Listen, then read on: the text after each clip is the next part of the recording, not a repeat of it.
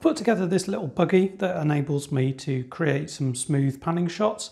It also allows you to pan round something uh, on a curve. So it's uh, built out of Lego Technic, namely the Lego Mindstorms set. Uh, the motors aren't actually powered, they're there to help with resistance on uh, moving the wheels around. So I'll show you that in a second. But the general idea is that you'd line up your shot and then you'd be able to do a smooth roll past something.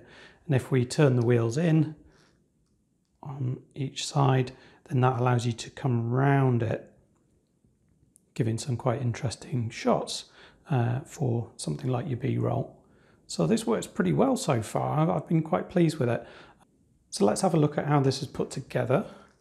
If we kind of ignore the motors for now, um, so we've got our wheels and just a, a, structure here for the camera to sit on. Um, there's not much to that. And then the wheels, you can turn them like that and you can kind of hear the motor is providing some of that resistance. Without it, uh, these wheels just flop all over the place. Um, and were quite difficult to set to the position that you wanted them. It's all right if you want to do a straight line, but like I say, if you want to curve it inwards like this, so it follows it on a curve like that, um, keeping those wheels aligned was difficult without the motors here. So I've got the motors, uh, they're purely for the resistance, and then when you've set where you want the, uh, the wheels to go, it generally stays where it's supposed to.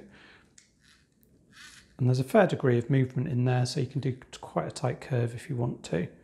So I'll see if I can put some plans for this up online, but I think you can kind of get the general gist of it just by even having a quick look at this. Uh, I don't know if there's a, nice Lego diagramming tool where you can uh, put these things together. Let me know in the comments if you know of one, but I'm going to go searching afterwards and see what I can find. If I do find a way to uh, share the design, then I'll put it in the description of the video. Anyway, I hope this helps for anybody that's trying to do something similar and uh, hopefully the results from this, you can see those in my other videos uh, and hopefully they look all right. Anyway, thanks for watching. See you next time.